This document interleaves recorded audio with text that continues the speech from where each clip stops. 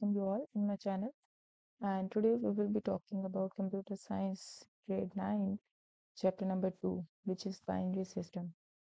So, total marks of this test is again 30, and total time you have is 60 minutes. Okay, so in the objective portion, we have four um, MCQs, and definitely you have to pick one suitable correct option and cutting, overwriting, filling more bubbles is not allowed. If you will do so, then you will be getting awarded zero marks. So the first question is the base of decimal number system is. So the in the in this first chapter, the first topic was number system. And in that topic, we studied that there are three types of number system, binary, decimal, hexa. And they are asking the base of decimal number system. Option A is 16, B 10, C 8, D 2. And do remember that hexa base is 16 and 10 is the base of decimal number system. So 10 is the correct option. 8 is the base of octal number system and 2 is the base of binary number system, right? They can actually switch this answer question like this. The base of octal number system is, then if it's octal, then it's 8. If they are asking the base of binary number system, then it's 2. And mm, question number 2 is 1 petabyte is equal to. And we know that there are different um, there are different things actually computer in memory there are different units of data bit hota hai bit is the smallest unit then byte then kilobyte then megabyte gigabyte terabyte and petabyte in the page number 43 there is a table. Please learn that table right? So 1 petabyte is equals to 1024 to power 5 bytes. Okay. Sometime if it's bytes then it's 1024 bytes. If it's not byte then it can be 1024 tb terabytes okay so currently they are just asking the answer in bytes so that's why i have clicked this one. So the b is the correct option. Question number 3 ram is an example of volatile non-volatile semi memory and indirect memory. So volatile first we need to be clear about what is volatile and non-volatile memory. Okay, so volatile memory is that memory or device which holds data as long as it has a power supply connected to it. यानी कि जब तक उसको power supply मिलती रहेगी it's gonna hold your data right so volatile memory को sometime हम primary storage भी कहते हैं and RAM is the volatile memory and non-volatile memory which can hold data even if even if it's not connected to any power source okay so different kind of uh, pieces devices like flash drive hard drives uh, all these devices are in the non-volatile memory so the correct option is volatile question number 4 for hexadecimal a binary value is for hexadecimal a we have to find out the binary. So we know that for hexadecimal A equals to 10 and ten की अगर हम binary बनाए तो it's going to be one zero one zero option D okay just you have to think the and you have to make the things link with your previous concept ठीक है then it's going to be easy for you to answer the question and in next in the subjective portion we have some short question five short question and each contains two marks and you have to attempt all the question. First question is define bit. As i have already told you that bit is the smallest amount of data to be stored in computer's memory. It's it's it can be 0 or 1 it's called a bit.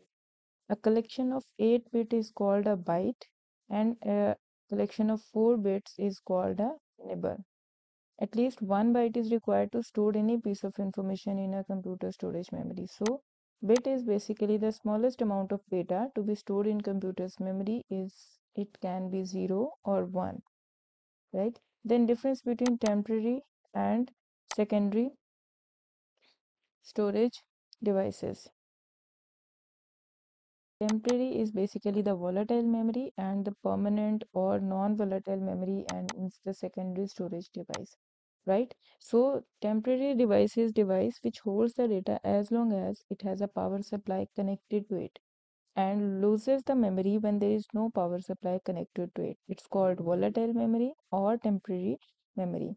And a device which can hold data even even if it is not connected to any power source is called a non-volatile memory or permanent memory or we can say secondary storage memory as well in the example of temporary storage you can mention ram. In the example of secondary storage memory you can mention flash drive cds and all those things. By the way in my other videos i have talked about the secondary uh, all the storage devices in details do check my other videos as well. So the next question is convert 69610 hex, uh, decimal to hexadecimal. It's quite easy. You just have to convert it so next question number 4 store the word phone in computer memory starting from address 7003 where each letter need 1 byte to store in memory.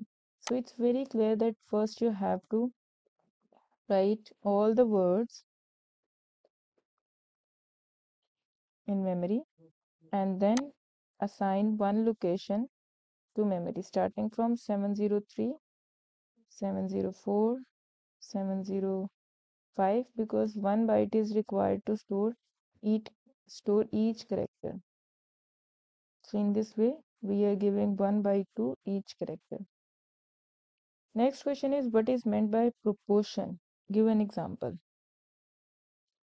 Okay so in this chapter you have learned about some um, laws of boolean algebra because it actually helping us uh, to define and or logical operators so proportion is any sentence that can either be true or false right? It can be anything. Like you can say p equals to i play chess and q equals to i want to excel in mathematics. And there can be anything. It can be anything actually. It can be any sentence that can be either true or false next in long question we have two questions. The first question is perform the following conversion a b c d to binary. It's quite easy. You just have to mention um mm, four, you have to make four pairs of binary like a equals to 10 b equals to 11 c equals to 12 d equals to 13 and just make four pairs. Binary we know that binary 10 की binary 1010 and for 11 10 double one. For 12 100 and for 13 we have 1101 okay. Now write down all the binaries in a same sequence. 1010 for b 1011 c double one double zero. D one one zero one. So this is the binary of our a a b c d. Right? This is our answer define so the next question is define computer memory and storage devices in detail. So you just have to mention what is the computer storage. Storage is the place where we are going to store some data. Then you can define um, different computer memories. Bit byte kilobyte megabyte you can make that table as well. Then you can define storage devices primary secondary volatile non-volatile and uh, then you can type different types mention the examples of those storage devices. So the next question is perform the following conversion 1 5 6 10 to binary. You just have to divide take LCM and then just mention the remainders. Draw the truth table to verify this equals to a dot base b plus a dot c. It's quite easy as well. If you have any confusion do let me know in the comment section box. I will help you to um, verify and draw the truth table and do the conversion and everything. That's all for today. In the next chap in the next video, we will be talking about chapter number three. Till then, watch my other video for better concept concepts. Take care. Allah Hafiz.